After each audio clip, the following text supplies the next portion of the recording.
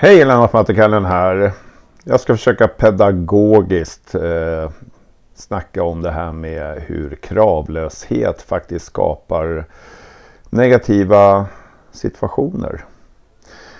Vi kan ju ta exemplet där eh, häromveckan så friades en man eh, av hovrätten för bedrägeri.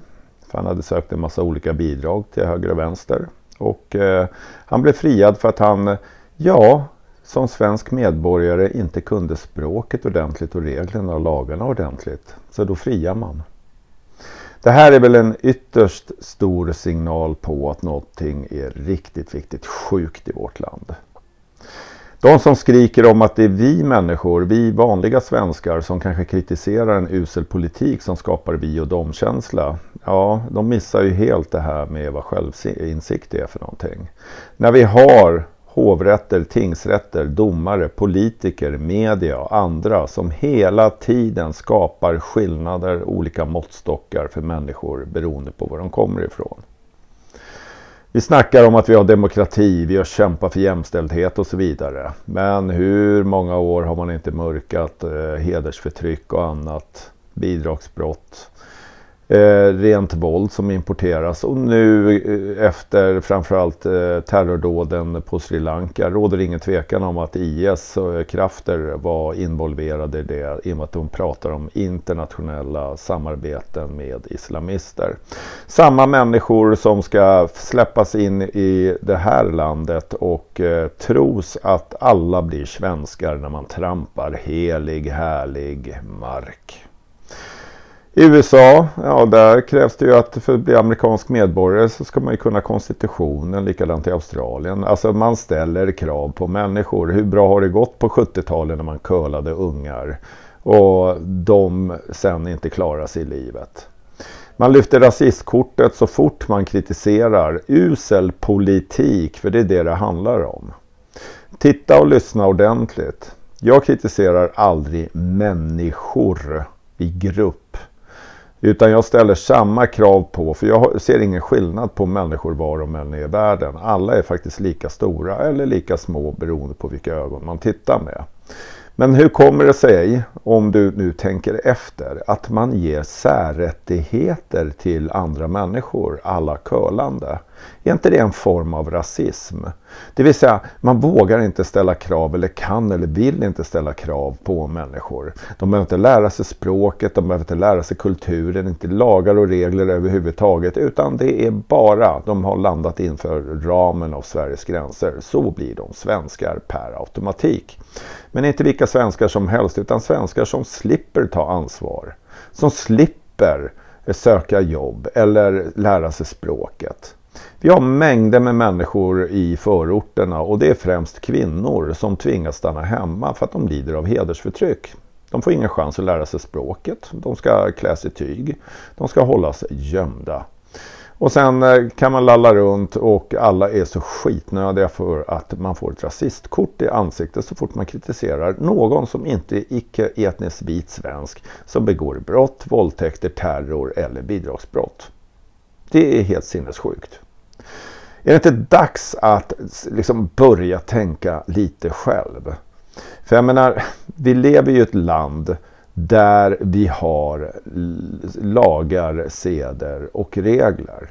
Och man pratar om att det är så bra med mångkulturen. Men den blir ju aldrig bra om man inte lär sig hur det fungerar i olika länder. Om du åker till Kina och bara kliver över gränsen, du blir inte kines. Och det spelar ingen roll. Du vet lika väl, och det vet ju knallkorkarna också, att de tar ju seden dit de kommer. För att det är där, som att komma hem till någon, så har man ingen rätt att börja möblera om bara för att man inte gillar hur det ser ut.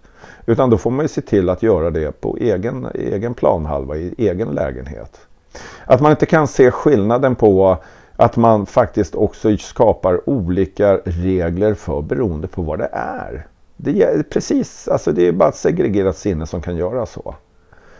Jag menar, är det så att man verkligen vill komma till Sverige och sen prutta på kanske anor och religioner och annat som begränsar människor.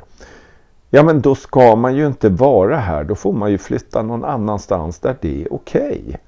Varför ska vi anpassa oss? Varför ställer många, många, många svenskar upp på att hålla tyst och leva på anpassning? Varför kan man lyfta ett rasistkort så fort man kritiserar någonting? Det är sinnessjukt. Det måste bli ordning och reda på riktigt och det finns inte en chans att man kan få ordning och reda utan information, kunskap, ställa krav på folk, eh, verkligen leva efter den här blueprinten, att av, avskilja avsändare från beteenden.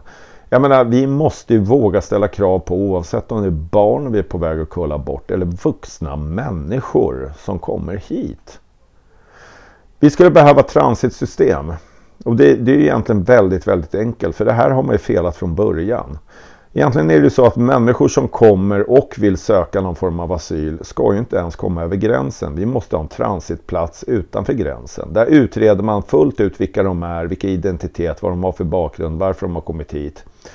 Och sen är nästa steg, om det bör accepteras att de ska in och att deras, det går att styrka deras identitet. För de flesta kastar ju passen och sen ska man lita på en historia som några människosmugglare har sålt in till dem. Alltså det är helt sinnessjukt. Utan i nästa steg ska det vara också det traditionella att berätta om vilken konstitution vi har i det här landet, vilka lagar och regler som gäller. Att man ska lära sig språket för att ha en chans till ett arbete. Jag menar idag sitter man till och med och anklagar arbetsgivare i princip för rasism för att de inte vill anställa någon som är nästan analfabet, inte kan språket överhuvudtaget och inte har någon kompetens. Det, det, det är helt galet. Och sen att man också tillåter människor att gå på bidrag hur länge som helst. Testa du att bara lägga av ditt arbete och sen söka bidrag i åtta år eller någonting. Det går inte.